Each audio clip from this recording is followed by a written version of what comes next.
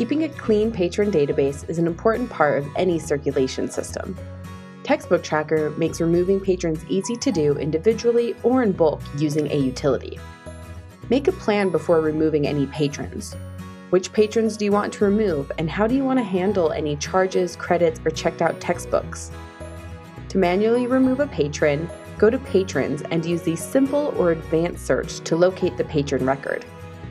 With the record current, unlock the record by clicking the lock icon, then use the Actions menu to the right to select Remove Patron. The pop up will notify you of any textbooks that will be marked lost when the patron is removed. Before using the Remove Patrons utility, decide how you are grouping the patrons together by grade, account expiration date, or any of the other selection fields.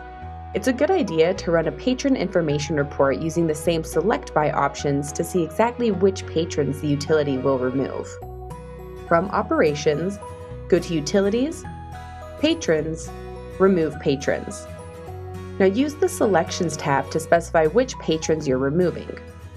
Go to the Options tab if you want to remove patrons even if they have charges, credits, or items checked out. When you're ready, click Run. Pay close attention to the pop up window alerting you of the approximate number of patrons that will be removed.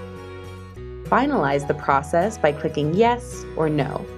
You can confirm that the records were removed by reviewing the summary file from Operations.